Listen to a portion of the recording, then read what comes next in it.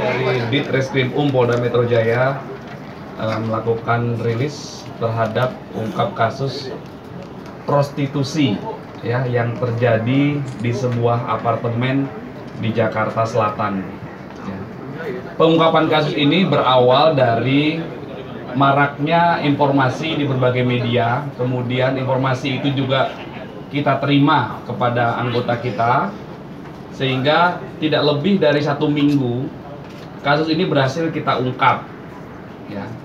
Bahwa di apartemen Kalibata City terjadi kegiatan prostitusi, ada orang yang berperan sebagai penyedia kamar, kemudian orang yang mencari uh, wanita PSK-nya, kemudian ada dua orang lagi yang membantu. Total ada empat tersangka yang kami amankan, tiga orang wanita dan satu orang eh, laki-laki.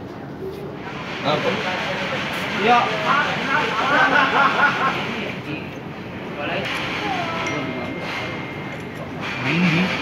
Pasti ada duit ada ada noda itu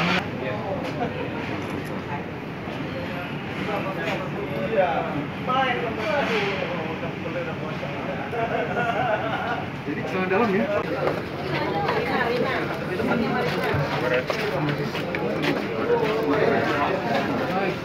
Pesan satu dong.